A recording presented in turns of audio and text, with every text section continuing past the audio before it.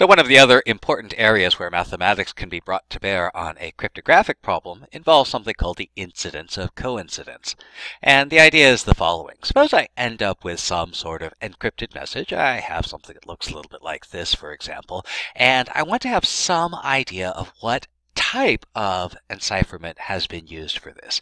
Uh, for a variety of reasons, this is not particularly important nowadays because in general we know the type of encipherment that's being used, uh, but historically this has been an important question. So there's many different types of ciphers that I could use, and so one of the things I can do is to examine what's called the incidence of coincidence. So the basic idea is this. Suppose I have some sort of text which is written in some natural language like English four score and seven years ago and so on. And so this is a natural language text. And the idea is that suppose I pick two letters from this text completely at random. Uh, for example, these two. So here I pick this letter here and this letter here, D and N. And most of the time when I pick these two letters at random, they will actually be different letters. But from time to time, the two letters will be the same. So I may pick this I here, and as my second letter, this I here. And so every now and then, I will have a coincidence of the two letters chosen being the same. And if you look at a typical English text, because of the distribution of letters in the English language, uh, about 6.8% of the time this will occur. So if I pick two randomly chosen letters from an English text, about 6.8% of the time the two letters will be the same letter. On the other hand, if I have a text consisting of letters chosen completely at random, uh, which is to say that the letters are chosen with equally likely probabilities, then the incidence of coincidence will be much lower, typically around 3.8%. And everything from a pure English text to some not quite completely random set of letters will give me some sort of intermediate incidence of coincidence. And so this thing is actually preserved by a substitution cipher. So if a ciphertext has a high incidence of coincidence, uh, it is reasonable to conclude that it was produced using a substitution cipher. So how do we compute this incidence of coincidence?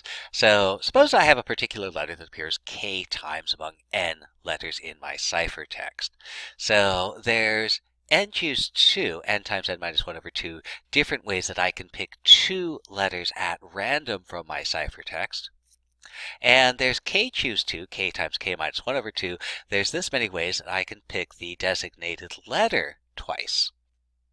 So that means if I pick two letters completely at random, then out of the this many ways that I can pick two letters at random, there's this many ways that the two letters I picked were this particular letter. And so that gives me this probability kk minus 1 over 2 over n n minus 1 over 2. And after all the dust settles, that's the product of k k minus 1 over n times n minus 1.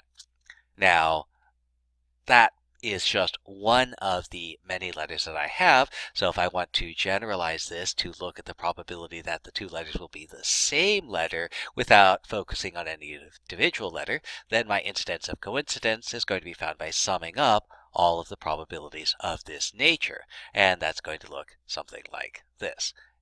So it's going to be the sum of this product ki times ki minus 1, where ki is the number of times the ith symbol appears. So let's go back to our ciphertext. So it's this horrible mess of letters, and before my eyes glaze over, I can try and find out how many times a particular symbol occurs. So I'm just going to count the occurrences of letters. So the letter A appears, well, it appears all of these times here, and if I count the number of times the letter A appears, I see that it occurs 22 times in the ciphertext.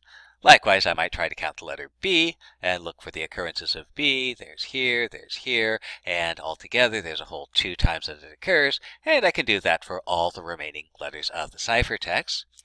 And now that I have this information, I can use this frequency to compute the incidence of coincidence.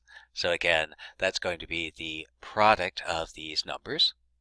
So it turns out there's 270 characters altogether. So my denominator is going to be n, 270, times n minus 1. And my numerator is going to be the product of every one of these numbers with one less, all of those product added together.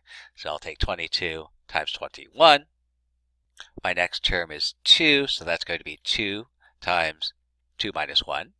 And then the others, 0 I'm not going to count, 0 times who cares what, doesn't matter, 19 times 1 less, and so on and so forth. And when I find the value here, when I add those up, I get about 0.0718.